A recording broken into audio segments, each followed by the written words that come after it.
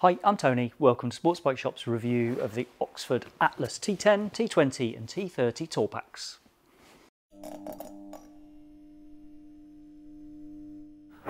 Okay, let's start with something that'll probably be obvious to riders who keep an eye on what's out there in the world of motorcycle luggage.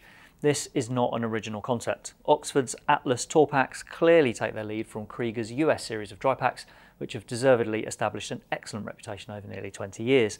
This is a review, not a comparison between Kriega's products and these new contenders. I'm going to explain what you can expect from Oxford's tour pack range and what I've made of it over a good five months of use.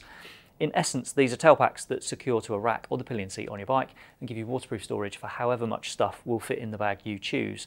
There's an Atlas T10, T20 and T30 in the range and the number in the title tells you how many litres of storage there are in the bag. On all three, the outer is made mostly from 420 denier ripstop with 1000 denier polyester on the sides and then tougher Hypalon at the base. The top rolls over and clicks shut with three buckles and inside there is a waterproof liner that works in tandem with that roll top to keep your stuff dry. The liner attaches into the bag with Velcro and that Velcro is arranged in a way that lets you run two waterproof liners in the same outer bag. That might be useful, for example, if you want to keep clothes that you've already worn separately from the rest of your luggage on a trip. As we record this, extra liners are £10 for the T10, £12 for the T20 and £14 for the T30. You might also need to replace those liners over time if they wear through and stop repelling water. On the outside, all three sizes of Tour Pack have a slim zipped pocket on top which is covered with Hypalon. It's got a sealed zip, so it's water resistant to a point, but it's not waterproof. So it's best not to use that pocket for anything that's vulnerable to water damage. On the Atlas T20 and the larger T30, there are also side pockets. On one side there's a mesh pocket, which is clearly not waterproof, and then on the other side, the pocket's within the polyester fabric. The zip to that one's sealed, so there's a degree of showerproofing, but not full waterproofing. The smallest bag in the range, the T10, doesn't have either of these pockets as they'd just be too tiny to be useful. The base of the bags reinforced so the bag keeps its shape and it's covered with a grippy mesh to help it stay in place on the bike. To attach it to the bike, you put the bag on the pillion seat or rack and then use the supplied straps to secure it to the bike. The straps clip to the top of the bag with buckles and then on the other end there are metal hooks. You've got options on how you can use those straps. You could wrap them around something on the bike and then bring the hooks back to the bag itself, hook it to the bag, pull the straps tight. There are loops at the base of the bag or also right next to the buckles on top that let you do that. The better option though, I would say, is to use the additional loop straps that you get provided with the bag. If you attach these to the bike, then you've got somewhere to secure the hooks and then you can pull the straps tight. If there's any excess strap, you roll it up and then a Velcro tab keeps it rolled up for you. And then there are elastic loops that you slide into position to stop that excess from flapping around too much. Something that's neat with the tour packs as well, you can reposition the click buckles on the straps to move them nearer the centre of the bag if that means it attaches more securely to your bike. If you want extra reassurance as well when fitting to a pillion seat, then all three sizes of Atlas Tour Pack come with a strap to secure it to the pillion seat. They've also designed the base so the strap will work whether you have the bike sitting across your seat or lengthways along it. And if you don't need or want the strap, then you can very easily remove it. I mostly used this bag on bikes with large pillion seats, so I didn't really need the strap, but I have used it on bikes with smaller seats to make sure, absolutely sure, the bag isn't going to slip to one side. There's another benefit to that as well. The strap makes it harder for a casual thief to just whip the bag off your bike if you leave it briefly, say at a petrol station, as they'd have to cut through some straps to nick your bag. Something else Oxford have thought about here, there are four carrying loops on the Atlas Tour Packs, one on each side. So wherever you're standing, there's a way to get hold of the bag and carry it away once you've detached it from the bike. You also get a shoulder strap supplied with these bags and the attachment loops to connect those are tucked between the base section and the main compartment. If you want extra carrying space, then the Atlas Tour Packs can be combined to give a greater total storage capacity. The true purpose of the loops on the side and also on the top of the bag are so you can attach other tour packs to the sides or the top of the base bag. If you want the maximum storage, then you can attach two T20s to the sides of a T30 and that'll give you 70 litres of room. You can configure it in other ways, but Oxford say the limit is a total of 70 litres and a total of 15 kilos in weight. Okay, so those are the details. Let's move on to what this setup is like to use. I've used all three of these bags on a variety of different bikes over the last few months, and I've been very impressed with them.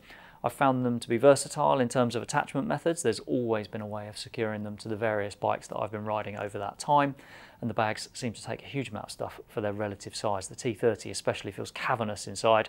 I reckon I could fit enough in that for a week away on the bike. The T20 easily holds enough for a long weekend away and the T10 surprised me as well as I could fit my laptop, lunch and a pair of jeans in there for my commute to work. The side and top pockets on the two bigger bags means it's easy to store stuff I might want during a ride, say a visor cleaner, neck warmer, a pair of gloves. And the abundance of carrying handles as well also makes life easier at the end of a journey.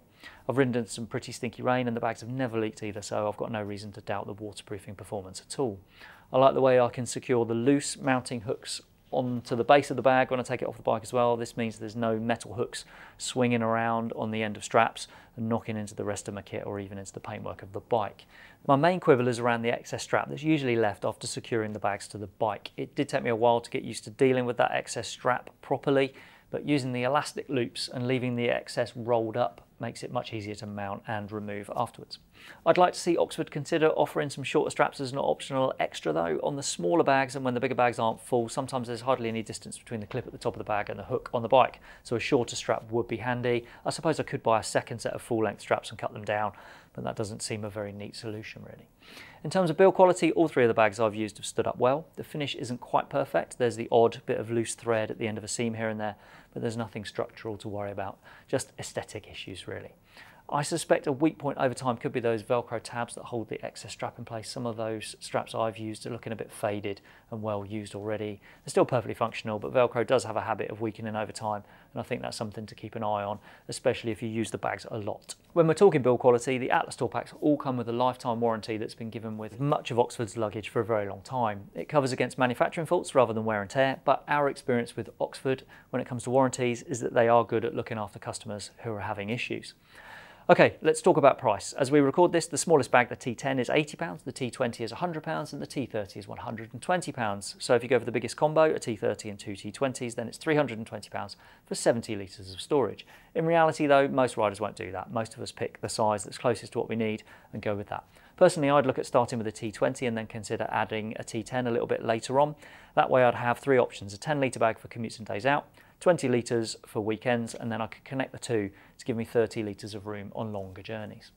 Okay, let's sum up. I'd say it's pretty obvious to most riders that these Atlas bags aren't completely original designs, but they aren't just blatant copies either. There are features here that separate these bags from what's already available, and I think the Atlas T10, T20 and T30 all bring worthy competition to the market. If you're considering this style of luggage, then in my opinion, it's well worth giving these a look to see if they deliver what you want.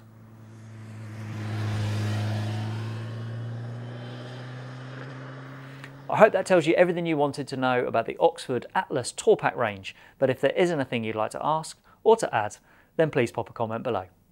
Thanks for watching.